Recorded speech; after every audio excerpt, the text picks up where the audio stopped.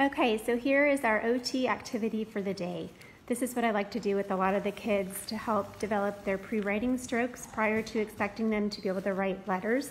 They have to be able to do uh, circular scribbles, um, horizontal scribbles, vertical scribbles, and then the nine pre-writing strokes prior to expecting kids to be able to form their letters. So this is a fun activity that kids usually enjoy. So um, I will sing the wheels on the bus go round and round, round and round, round and round. The wheels on the bus go round and round all through the town.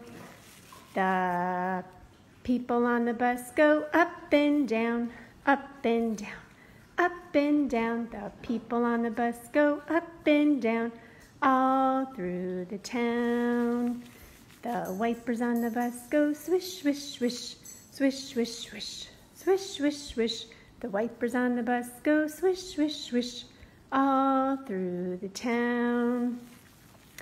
And then I'll have the kids imitate down. Okay, so then the, uh, kid, the child will go down. Then we'll erase it. And then we'll make a line over, then over, and then we'll make a circle.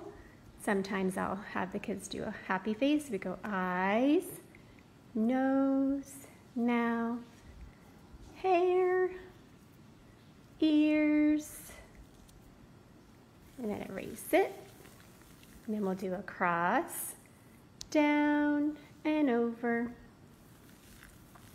And then we'll do our diagonal. Go down, slide down the slide. And then we'll slide down the other way. And then we'll do our X.